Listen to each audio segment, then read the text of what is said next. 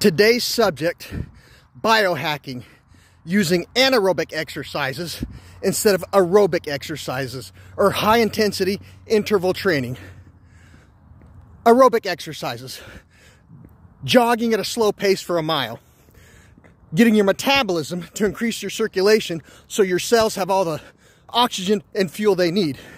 High intensity interval training, anaerobic exercises, running for a third of a mile, and then stopping before your metabolism increases the oxygen and circulation for fuel to your cells, tricks your body into burning up all the glucose in your muscles, putting you into ketosis, where we supercharge a metamorphosis known as autophagy, apoptosis, and neurogenesis.